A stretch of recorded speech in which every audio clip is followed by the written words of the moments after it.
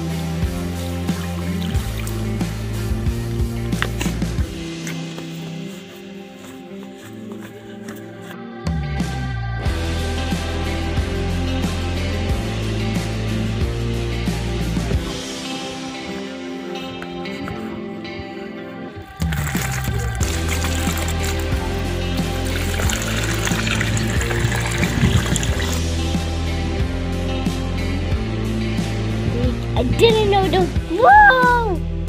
I didn't know uh, it can do. I did. I never think it's pinch. This is not a flower. It's a Play-Doh.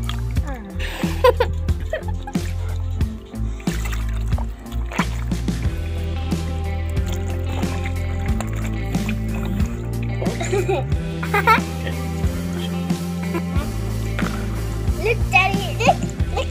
at me, Dad. Do I take you the photo? Mommy, I was standing there first.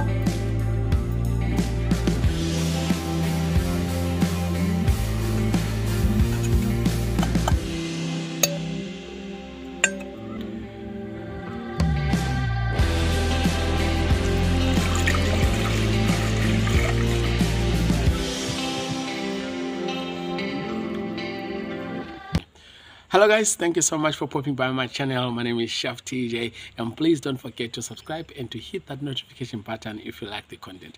Today i just want to talk about uh, my journey leading up to this channel which is about two months old. Of course i've opened it i think long back. I think it was 2012 or something but i've never used the channel. It's only now that i became so serious. Uh, but anyway guys i just want to talk about that journey. So what happened is that during the first hard lockdown here in south africa um, as you know the world was closed. It was quiet but also uh, we experience a lot of uh, domestic uh, violence across the country people fighting each other people killing each other and all sort of things that was happening people were not working there was no money the stress and all those things. So i thought to myself what can i do to kind of counteract that energy? I couldn't just do recipes every day because uh, you know we there was no funds no one was working there was no funds to support that initiative. Then then I say to myself, let me rather write a book that will support that initiative. And uh, here's the book. The title of the book is called Flattening the Curve. Flattening the Curve. Because what I do think is that uh, absenteeism absenteeism of fatherhood it is a curve that is that needs flattening and it is actually in my perception a pandemic that this world doesn't take serious because out of absenteeism of fatherhood uh, that's where you'll see we've got uh, uh, uh, gender-based violence, domestic, whatever you call it, domestic violence. We've got a lot of people using drugs. We've got a lot of people uh, committing suicide, joining gangs, and doing all sorts of things. And uh, in my view, absenteeism of fatherhood contributes to that profoundly. So hence I wrote the book. Now this book is basically to support the initiative to share with you guys some recipes to be able to buy and do whatever we need to do in order to support this channel. So if you if you are interested in this book, uh, I'll leave a link. I'll leave a link in the description and would really really appreciate it. But actually it's really amazing book. Really you you'll enjoy it. Uh, thank you so much. Have a good one. So as you can see, it's now ready. It is ham. The texture is beautiful, the color, and surely the flavor is awesome. But we don't want to do that because that will make us ordinary and we don't want that that is our deepest fear we want it crunchy outside we want it crispy outside and then inside we want it fluffy and flazy and full of flavor. That's what we want, and that makes us extraordinary. Ah, let's see. I put it two. Can I put it two, Dad? Just a second. Okay. Dad, you made drip sauce. Of course,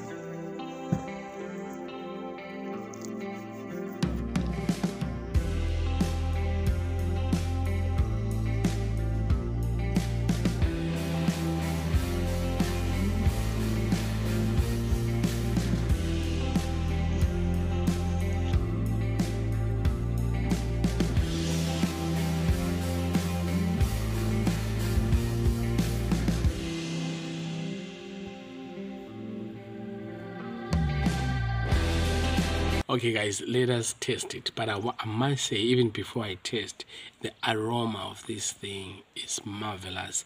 The texture is beautiful. As you can see the, the texture is really really good. So the texture the color is powerful.